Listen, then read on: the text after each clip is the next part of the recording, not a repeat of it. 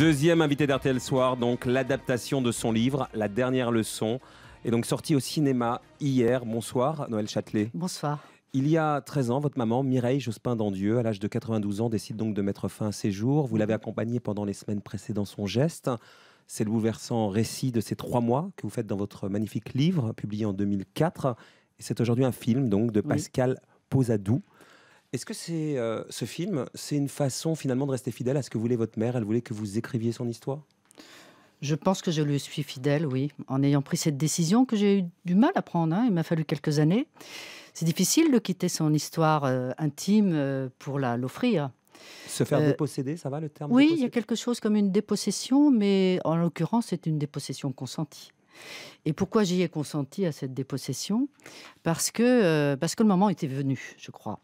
Pendant ces, 12 années, j'ai beaucoup réfléchi à cette question de la fin de vie. J'ai été sollicité par des, centaines et des centaines de lecteurs qui m'ont écrit, auxquels j'ai répondu. J'ai parcouru la France en portant le, message de ma mère. Bien sûr.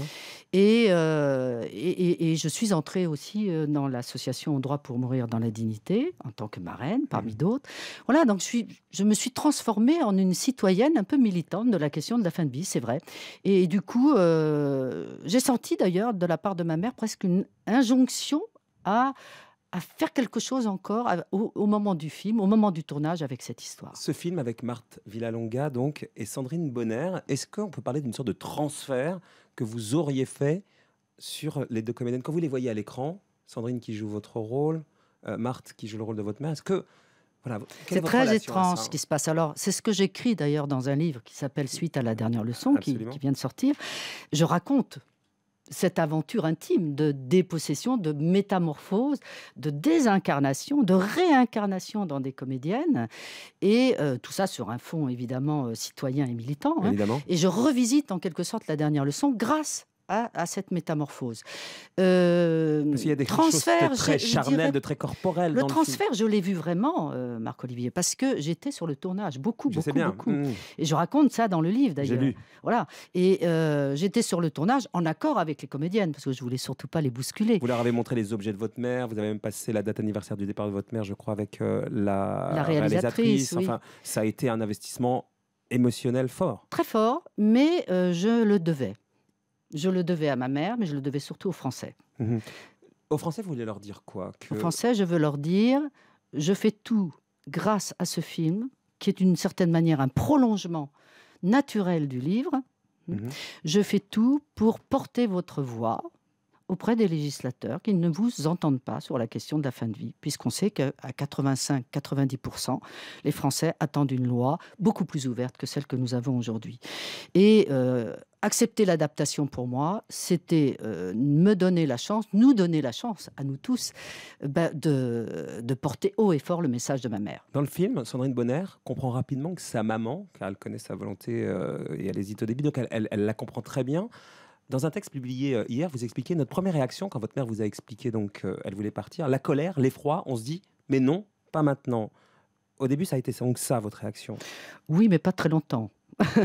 pas très longtemps, parce que nous étions prévenus, les enfants, sur cette décision de ma mère, depuis 20 ans pour ne pas dire 25 ans, et nous étions d'accord. Mhm. Euh, simplement, entre l'accord de principe puis l'arrivée d'une date, il y a un gouffre, et nous étions au-dessus de ce gouffre. Cette date, vous l'avez d'ailleurs repoussée avec elle quand vous l'avez accompagnée. C'est elle qui l'a repoussée. Mais vous étiez à ses côtés. Oui.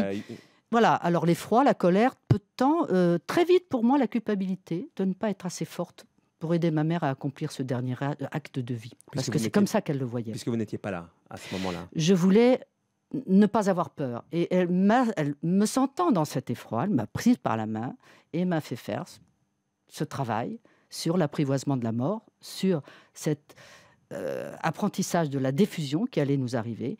Et voilà, donc euh, j'ai vaincu la peur grâce à elle. Dans le livre, vous racontez qu'une fois que la décision a été acceptée, une fois le moment d'effroi et de colère dépassé, mhm. vous dites l'approche du jour J te dopait, te survoltait. Je n'en revenais pas de t'entendre si vivante, trop vivante. Hein. Elle était donc en forme. Elle était usée. Comment on peut être usé à 92 ans quand on a traversé la guerre en sage-femme libérale, qu'on a accouché les femmes en moto, qu'on a manqué de nourriture, qu'on a fait quatre enfants, et qu'on s'est donné corps et âme à mille causes citoyennes. Elle était usée à ses yeux. Elle le ressentait dans son corps, dans sa tête. Voilà, elle sentait son mais corps. elle avait une énergie de vie. Elle avait une Euh, énergie de vie et juste assez, Marc-Olivier Fogiel, pour avoir la force physique et psychique d'accomplir son geste seule.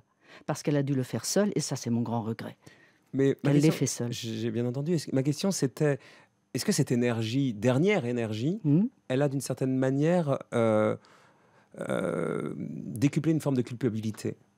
De votre Absolument part pas. Parce que de la voir finalement Non, si en tout. forme à ce moment-là, Mais elle n'était pas si en forme, elle Mhm, était, elle était épuisée d'une Mhm. part, et puis qui nous donne le droit de juger de la forme de l'autre? Voilà. Pour comprendre le geste de ma mère, il m'a fallu, pendant les trois mois du compte à rebours, effectivement faire un travail d'empathie pour me mettre dans son corps et comprendre que de son point de vue à elle, elle ne pouvait pas dépasser certaines limites de ce qu'elle appelait sa dignité. Et je pense que, la définition de la dignité appartient à chacun d'entre nous. Et je pense qu'elle avait la sienne et que sa liberté, c'était de partir à ce moment-là et que nous, qui avons été élevés dans une liberté totale, nous lui devions ça à cette mère, de la laisser partir aussi librement, d'autant qu'en partant librement, elle nous libérait aussi d'un poids possible d'elle sur nous. le film sort et c'est pas un hasard la semaine de la Journée mondiale pour le droit de mourir dans la dignité. Oui. C'était lundi. Mhm. L'actualité, le docteur Ben Maison qui euh, tente de mettre fin à ses jours. Jean Mercier qui écope d'un an de prison avec sursis pour non-assistance à personne en danger après avoir aidé son épouse à partir. L'affaire Lambert continue. Oui. Le film, c'est donc euh, le message aux législateurs. Bien sûr, ça veut dire que ça ne fonctionne pas tel que c'est. voilà. C'est qu'il faut revoir tout ça, mais le revoir euh, en écoutant les Français et en, partageant véritablement cette aventure de mort qui nous attend tous et que nous daignons et que nous ne voulons pas voir. Et je voudrais à ce propos dire que ce film, c'est un film qu'il faut voir comme un- un moment d'espoir et aussi de lumière, parce que c'est un film qui n'est pas du tout morbide. On peut parler de la mort, En riant. Oui, Merci Noël Châté d'être venu ce soir sur RTL.